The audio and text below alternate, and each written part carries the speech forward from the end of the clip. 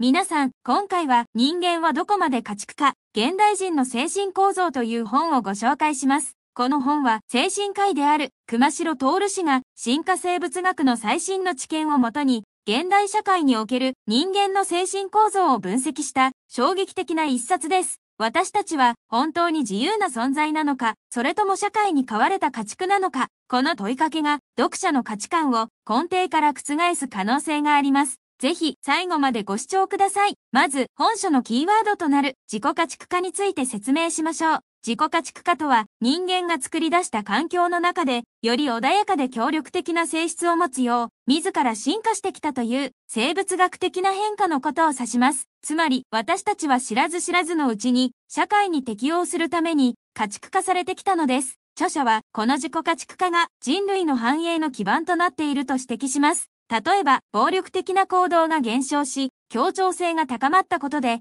大規模な社会を形成することが可能になりました。しかし同時に、この過程で人間の体にも変化が起きています。脳の萎縮や筋肉量の減少、歯の小型化など、まるで他の家畜動物と同じような変化が人間にも見られるのです。さらに興味深いのは、この自己家畜化が体だけでなく、精神にも大きな影響を与えているという点です。ストレスホルモンの分泌量が減少し、セロトニンの分泌量が増加することで、私たちはより穏やかで衝動を抑えられる性格になっていきました。中世の騎士のような激しい感情や行動は、現代では精神疾患として扱われるかもしれません。しかし、この自己家畜化には暗い側面もあります。現代社会では清潔な都市環境、健康管理、生産性の向上など様々な形で家畜人たれという圧力がかかっています。そして、この圧力に適応できない人々が生まれてきているのです。著者は、近年増加している発達障害や、社交不安症などの精神疾患を、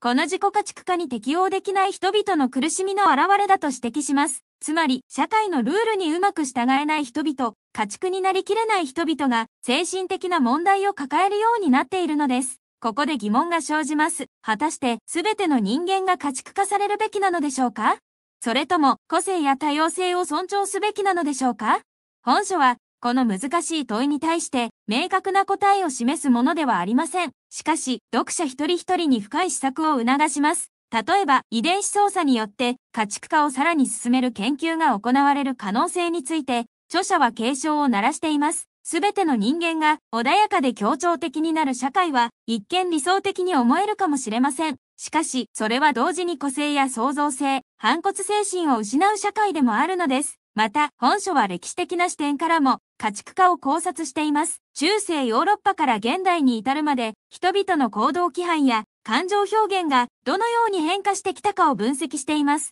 かつては英雄とされた行動が、現代では病的とみなされる可能性があるという指摘は、私たちの価値観が時代とともに大きく変化していることを示しています。さらに、著者は現代社会における管理の問題にも触れています。健康管理や生産性管理など様々な形で私たちは管理されています。これらの管理は一見すると個人や社会にとって有益に思えますが、同時に私たちの自由を制限し、さらなる家畜化を促進している可能性があるのです。本書の魅力は、こうした重い主題を著者の豊富な臨床経験と最新の科学的知見を交えながら読者にわかりやすく解説している点にあります。精神科医としての視点と進化生物学の知見を組み合わせることで、私たちの日常生活や社会の仕組みを新たな角度から捉え直すことができるのです。最後に、本書は未来への警告でもあります。現在の社会の方向性が続けば、私たちはますます家畜化されていくかもしれません。